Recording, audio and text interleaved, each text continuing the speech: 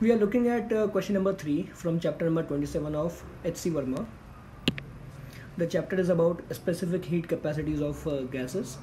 So the question says that figure shows a cylindrical container containing oxygen enclosed by a 50 kilogram piston.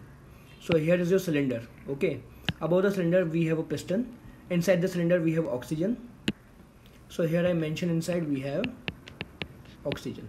Okay the area of cross section is 100 centimeter square. Piston's area is given. Atmospheric pressure is given 100 kilopascal and g which is acceleration due to gravity is 10 meter per second square. The cylinder is slowly heated for some time. Find the amount of heat supplied to the gas. If the piston moves out through a distance of 20 centimeter. Okay.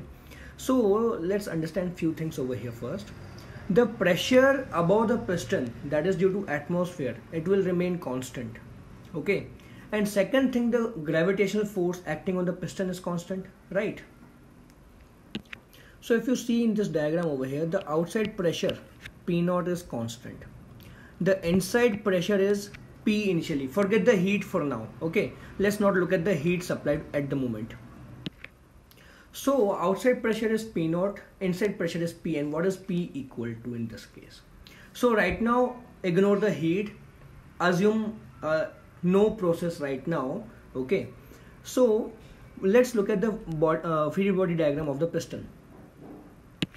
So from the top, force acting on the piston is P naught into area. From the bottom, force acting on the piston is P into area and piston itself has got some mass. So mass of piston will create gravity downwards mg. So net force on the piston should be zero. Then we can easily write down that mg plus p naught a equal to pa correct? So what is p equal to? P will be equal to p naught plus mg divided by a. Right? This is the pressure inside the gas now if you observe something, as you heat the cylinder, as you are heating the cylinder, the gas will absorb heat. So it will try to expand, it will push on the piston. But if you see something, the external pressure is not changing, external pressure P naught is not changing, and the gravitational force on the piston mg is not changing. So according to this equation, pressure will remain constant pressure will remain constant. So basically this is a question of isobaric process with the pressure equal to P naught plus mg by A. So now it's a very easy question. So in the question they have given the distance traveled by the piston is 20 centimeter. So if you multiply the distance uh, with area we can obtain the change in volume. So change in volume is how much? So delta V will be 100 centimeter square into 20 centimeter. So that will be equal to 2000 centimeter cube okay? Now similarly the mass of the piston is given to be 50 kilogram. So we can find the pressure. So putting in this formula p equal to p naught plus mg by a we will get p equal to p naught is 10 power 5 pascal given plus mg m is 50 kilogram into g is 10 divided by area that is 100 centimeter square. Now we convert into SI units. So 10 power 5 plus 500 divided by 100 into centimeter square is how much? 10 power minus 4 meter square. Okay. So we will get this to be equal to 10 power 5 plus 5 into 10 power 4 okay so this will be equal to you could say 1.5 into 10 power 5 pascals. Okay this is your pressure found. Now we just need to apply the adiabatic process equations. So for adiabatic process work done will be how much?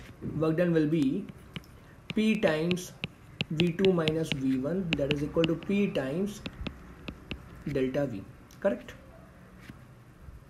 so pressure is how much? 1.5 into 10 power 5 Pascal. 1.5 into 10 power 5. And volume is, change in volume is 2000 centimeter cube or in meter cube if I write this down 2000 into 10 power minus 6 meter cube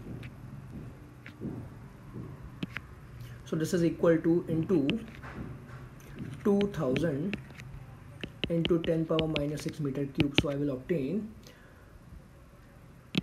so this will be equal to 300 joules SI units okay? Now what about the change in internal energy? So delta U will be delta U will be F by 2 NR delta T. Or I could write this down as F by 2 NR T2 minus T1 so this is equal to f by 2 nrt2 minus nrt1 now nrt2 is how much? Pv2 so i could rewrite this down as f by 2 nrt2 is pv2 minus nrt1 is pv1 so this is basically equal to f by 2 p delta v now P delta V we already found out. P delta V is work done and that is equal to 300 joules. So we just need to put P delta V equal to 300. Now for oxygen degree of freedom is 5. It's a diatomic gas and P delta V is 300. So we obtain delta U is equals to F by 2 means 5 by 2 into 300.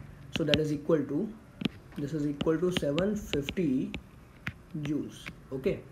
Now let me clarify one thing. This work done 300 joules is work done by the gas.